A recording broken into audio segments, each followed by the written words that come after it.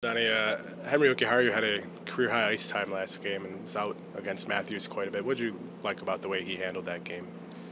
Compete. He competed very hard. Uh, obviously, I mentioned after the game how, how well I thought he played.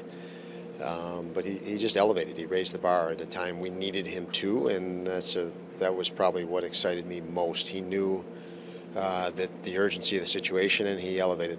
Donnie, when he competes like that, what aspect of the game does rise? His ability, his confidence with the puck, and his uh, his quickness on engaging physically. Uh, there's there's less hesitation, uh, and there's less hesitation on the defensive side, and, and more calm on the offensive side or possession side. What have you seen in uh, Peterka's game that's allowed him to be more involved offensively in creating the way that he has these last handful of games or so? Uh, similar, sharpened sense, uh, sense of um, urgency, um, details. You know, stronger on sticks, stronger on pucks, uh, quicker to transition from, from offense to defense to take time and space away, track a puck, get a puck back faster. So more urgency overall for him. Did you like the way that he handled just the ups and downs of? You know, he was f- trying to find his way there. Yeah, he, he did. He, he was, I think, out of the lineup uh, a few games back and came back uh, with, again, more urgency. So the way he handled it was, was the right way. Jordan Greenway's been on the penalty kill quite a bit. I don't think he was doing that um, much this season before. Is that important first step into, like you said, realizing your potential, getting them in more situations, I guess? Yeah, I think it's important any guy that comes in the lineup, especially the new team, uh, to for, for his teammates and, and, team to see him in, in roles and doing jobs. And you know he's filled in on uh, Thompson and Skinner's line. The absence of Tuch and those guys are happy to have him as a line mate. Uh, and, and obviously penalty kill is, is a role that uh, we need we've needed to elevate in that area all season long. So he's come in there and done a nice job, and, and that's you know again it gives him something to feel uh, that, that he's a part of our group right away, something that he can impact success within our group right away, and obviously that helps in his integration uh, in our team. What did it mean for guys to have Tuch back last game? Maybe not just on the ice, but also have him back in your room. I mean, you lose a player that big. Uh, so, you know, for us, if we lost Thompson, Tuch, Dahlin, you know, the guys that are big players, uh, and you know, high producing players, players that the other team is, is well aware of, you lose any one of those guys in this league. And last night with Washington, Ovechkin, it, it's it's matters. It matters a lot. And you know, Alex fits in that category. Um, you know, Samuelsson's another guy that's a that's a big big player to lose. So, you know, you, you can't lose too many of those guys, and when you do, you miss them. Had some experiences. His experience helping having played in games like this during at this time of year. I think Alex has has evolved his game more than where the experience would impact the situation. I think experience is big. Right. And experience he's gone through, and you guys know in Stanley Cup Finals, that's big but he he has elevated his game personally. He, he is a completely different player than he was a year ago, uh, even four or five months ago.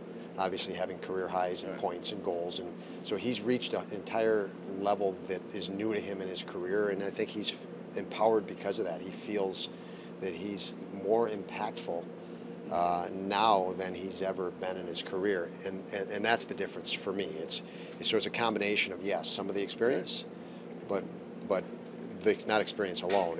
it's it's he's known and felt his own improvement over the last uh, months to the to the point where he, he takes charge more often than not. The last two games, you maybe didn't get the start that you wanted. What's the key to maybe flipping that tonight here? Um, I don't I don't think you have to worry about the flipping anything. The start we had the other night, I thought was great uh, from the standpoint you know, we were very confident in a strategy and a game plan and very focused. Now, the puck ended up in our net, but there was unwavering confidence when it did. It was, it, the guys would stay on the process, was the feeling. It'll, it'll work through. So, you know, I, I think uh, that has to continue. That unwavering, no doubt, that this is a 60 minute game. And yeah, pucks go off skates another way, a calls goes against you here or there. Um, you might fall down in a game, but you can't waver one bit. And, and the fear that it might cost you a game, some little accident that happened or a breakdown. And, and that starts before the game starts. You know, having, having a focus on what needs to be done for 60 minutes. Uh, it's something that uh, the urgency of the situation has helped our guys uh, realize the importance of that focus and being dialed in. And um, you know, we move in tonight with, with that as an objective to have have that type of uh, intense intense focus on uh, a strategy that needs to be executed for 60 minutes. How is the group of both these teams are basically in the same spot? You need to win the game. Of it, you know, you're trying to climb up behind the importance of the game. And every game is important, but is there is there an awareness of the importance of this particular game because of?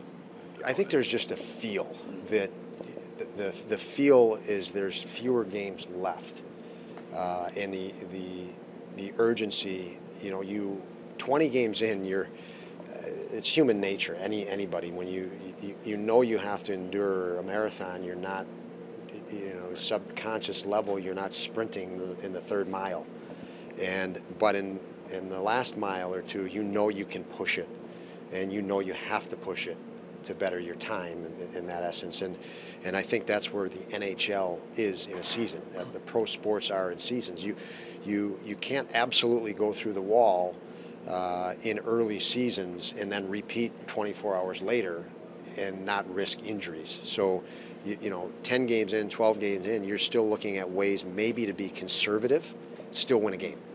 Now you just have to win a game. There's no there's no waiting for tomorrow, uh, and you don't feel like you have to play 60 more left. So it's some some balance of pace here uh, because you're in that marathon. Now you're in a sprint, and you go all out uh, as as you would see, and, and that's why playoffs are so good. Everything is do or die, so these players know there is no tomorrow if you don't go through the wall today, and and they don't save themselves for anything because uh, there's no need. So I think the league is in that mode right now, and uh, these two teams are. This is a situation that Olofsson's never been in. What, how do you want him to use this time out of the lineup to improve his game or early work on the areas that are going to help him get back to where he was earlier in the season? Well, you know, in its simplest form, when these guys, the season ends, they, they dedicate complete and full attention to how do I get better. And they look for they look for ways to improve their game, and it's no different. It should be no different in season when you when you don't go in the lineup. You take a step back, you can breathe a little bit, you can you can do some self analysis, and you can um, you, you, know watch the uh, watch from afar to learn and pick up any details you may. Uh, so you have to make certain you and, and Quinn has done this, and any guy that's been out really for our group has done that. Tuch out of out of injury, finds a way to come back in the lineup when he's healthy and be ready uh, and be better. And we saw that out of Tuch the other night. He, he, took him a little bit to get in the game, but he scores two goals in the third period. He, he was at, he was focused on coming back better than when he left. And so that has to be the drive, and you have to believe that uh, there, there is a silver lining to not playing, and that would be it. You've got time to self reflect and time to gear up for your next opportunity. And, uh, you know, the, this business is tough. You you can you can get swayed and think in another direction, but the essence of it is you've better be preparing for your next opportunity because it's going to happen. So, you know, I think it's a very general statement, but Victor fits fits that category well. What did you like about Owen, especially last game? Mount Ice job they did. Him and uh, Henri did well. Yeah, Owen was. Uh, his, his grace under pressure, if you if you want to look at it that way, poise, confidence. Um, you know, he, he knows the game. He reads situations very well because he studied it, and then he op, you know he operated well in that. Uh, he also, I thought, elevated his compete. He was very determined, and um, he played a big, big role for us. You know, um, Dahlin was was nursing some nagging things that have resolved, fortunately. Um, but he, he played in that game and he, he was he didn't skate the day before. We talked about it, so we limited his minutes just uh, just to make sure we didn't uh, overextend him and complicate his recovery, um, which he went he came through that game with flying colors. He was upset we didn't play him more, which was perfect. It's perfect what we wanted to see.